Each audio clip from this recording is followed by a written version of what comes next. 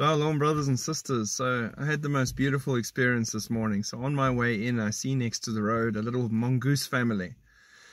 And they're busy scavenging next to the main road. So, I turned and I stopped by them so that, A, I can make sure people are not running them over and they can see there's something there.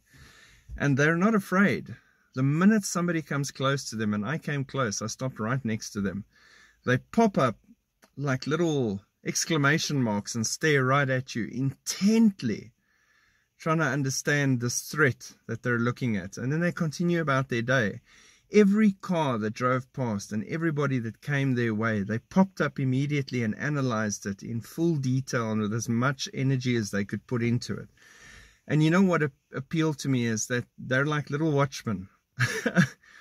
They're small in the grand scheme of things, and the threats abound all around them, much bigger than them and completely deadly. But they weren't afraid.